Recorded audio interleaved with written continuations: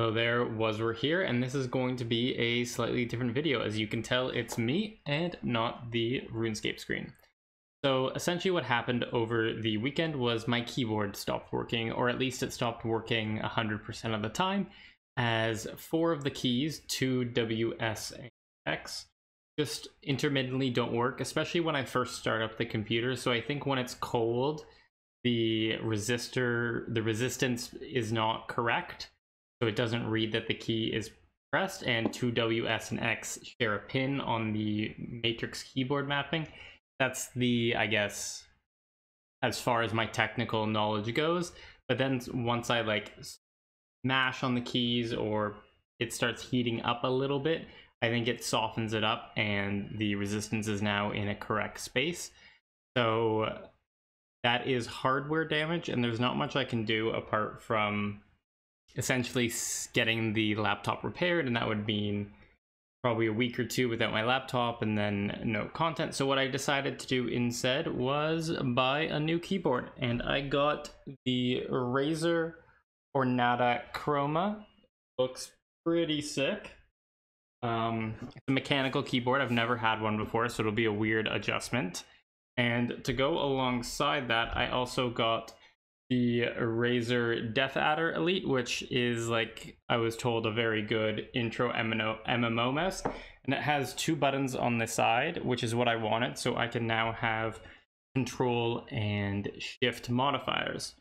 So essentially what I'm going to be doing with this video is we're going to transition into the actual RuneScape client and I am going to reset up all my keybinds and all my action bars be ready for modern PVM. Because what I did was when I first started PVMing, I was using Revolution, so I had all these weird keybinds. Like you can see my first three abilities are Q, 2, and E, instead of something normal like 1, 2, or 3. And it just, it's a very janky mess, and this gives me a new opportunity to restart my keybinds because I have no muscle memory with this keyboard, and therefore I can get new muscle memory. I'm also, as probably as you guys are watching this, I'm away at my cottage.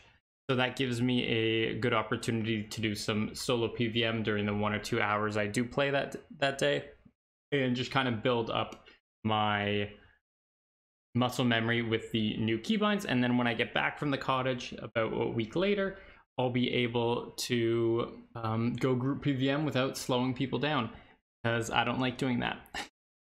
So without further ado, let's get into the new keybinds. So I spent about an hour sitting down and plotted out my keybinds here. I allocated spots for six basics, thresholds, two ultimates, one flexibility, uh, and that should cover off all of these styles. The idea with this was to make the majority of the keybinds happen with my left hand as I was starting to go over to like using 890 IOP, um, the parentheses, the comma, these all those sort of keys were getting into my keybinds, and it was forcing my hand all the way over there. So I want to keep everything, um, pretty much everything on the line of like going seven down, uh, not cutting across that for keybinds. The only change that had to be made to this from the final product is the mage flank and the range flank. The two of those uh, can't be used anymore because they would each require spots on uh, action bars, and I don't have ex enough extra action bar space as you can only have four extra action bars on the screen. So I had to put them all down into the similar keybind. So it's all going to be here on uh, Shift Y for all three styles, which is kind of unfortunate because it would have been nice to just roll my fingers over to do the flank. So this is kind of hilarious, but because my record key was Shift R and I was swapping to show off things, it stopped and started my recording when I didn't want it to. So for about 30 minutes of me talking through this, I didn't get any of it. So I'm just going to go over what I did.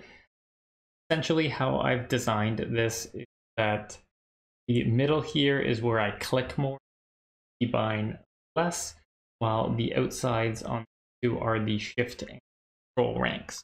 So anything with shift is a switch or an ability associated with the shift. anything with a control is kind of a or rarely used item. And I'll be having two keys on my mouse that represent shift and control.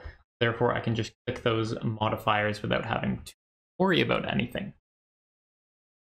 Um, but now I'm in the process of building out my six action bars, one for each style. So this will be five through 10. So I'm going to go ahead that now. So I went ahead and finished off all of our action bars as action bars 5 through 10 represent the six different combat styles, the three different combat styles, and the two options of dual wield and melee. And they all follow a similar pattern of six basics, kind of going from best to worst, but not exactly just the order I want them in. Um, then we have our three thresholds, again, kind of from best to worst. And then we have our two ultimates. The first ultimate will always be our damage boosting one, so Berserk, Sunshine, and Death Swiftness, so that way I can the same for all of them. And then the other one it will be the um, other ultimate you would use with that style. Dual wield melee is probably the worst for a second ultimate as you would kind of never use frenzy, but there could be a future use for it. And then we have our flanks on shift T and shift Y. And then seven is the float ability, which for melee is barge. Then when we get over to uh, mage, it becomes tsunami. And then when we get over to range, it becomes bombardment. Now, on top of that, we also have our action bar binding set up for action bars 5 through 10. So if I swap over my weapon, for example, if I put my CGS on, I'm going to go right over to that action bar. And then if I put on my dual wield melee, it's going to go over to that action bar. And it becomes very easy to swap back and forth. And I might get more into dual wield two hand swapping with melee now. So hoping that that works out well but that's going to be all for today's video. I hope you enjoyed it. Maybe you learned something with how i set up my keybinds and kind of got a look into my setup now. If you like the content i'm producing consider subscribing. If you like the video leave a like. And apart from that have a good one and i'll catch you next time